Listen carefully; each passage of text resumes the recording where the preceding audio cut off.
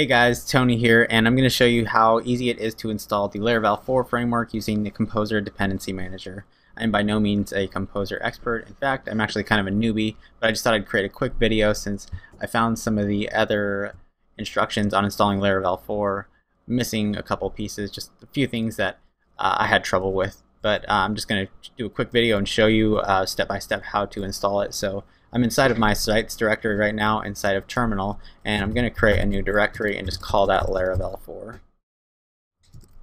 And I'm just going to cd into that directory. And the next step we'll want to do is go to getcomposer.org. We'll want to click on the download button and there's a one-line command that we can use to copy and paste into terminal to install Composer. So after that's been installed, I can go ahead and look into the directory and you can see we have a composer.phar file in there and that we have just installed the get composer into this directory.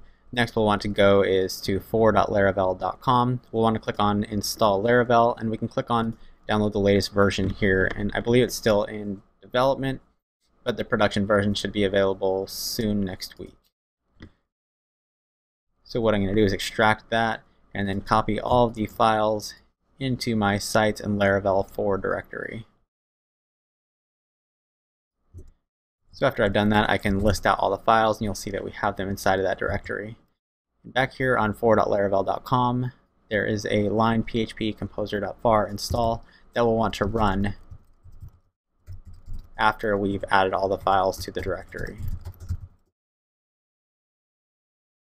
So it may take a few moments just to install all the dependencies and all the packages into this folder. But what I'm going to do in the meantime is open up MAMP and I'm going to create a Laravel 4 virtual host. You can see that I have one there, but I'm just going to remove this and I'm going to add it again. So I'm going to call this virtual host Laravel 4. And this is just that way I can point to my public folder. So instead of Laravel 4, we'll click on the public directory We'll choose that, and then we'll just give this an alias of Laravel 4.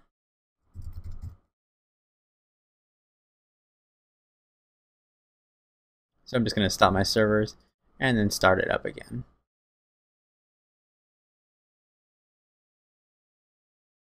Alright, and you'll see in terminal we have downloaded the Laravel framework along with a couple other packages.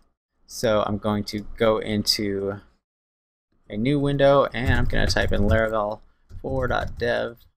We'll probably need the HTTP in there.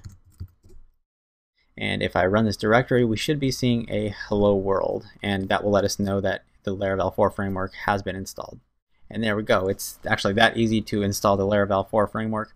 I'm pretty excited about learning more about Composer and how it can work well with other uh, third-party plugins, APIs, or other code that has been turned into a package that we can use then in our Laravel 4 projects. So I hope to create a couple more videos whenever I learn more about Composer, and I also hope to create some more videos about Laravel 4 once I start diving into that.